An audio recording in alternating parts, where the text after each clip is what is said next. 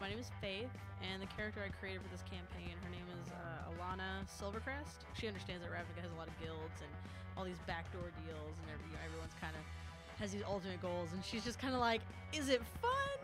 No, nah. Drinking, food, and whoring, yeah, absolutely. Everyone else, we worship the demon," and she's kind of like, "Eh." Alright, so we're here to talk about Fawn's Al Ghul. Yes, he is a Minotaur. Uh, he's in the cult of Rakdos. And do we want do we want to talk about the character that Fons Al Ghul is based on? He's mostly Bane with a little bit of Ra's al Ghul. Ha he ha ho ha he ha. Uh, we've also talked about how Bane never had to roll a d20 to see if he was Bane or not. My name is Ian Grimshaw. My character's name, more importantly, Pogo Basilthwaite. I'm a Loxodon, which is a large elephant person. I'm a paladin that Alright. breaks kneecaps for money.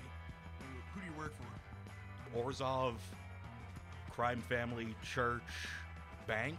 Do you have a particular voice that he uses? Like a fruity German man is the unfortunate thing. My name is Kira. Okay. Tell me about your character.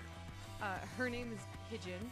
Okay. She's a druid, so that's that's where the, the name Pigeon came from. She's uh, about 14, 15.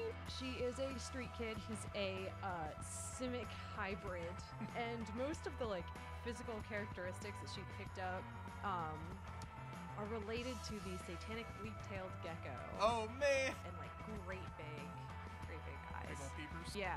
Fun fact: they do not have eyelids. Oh man. So it's either that or lick her own eyeballs.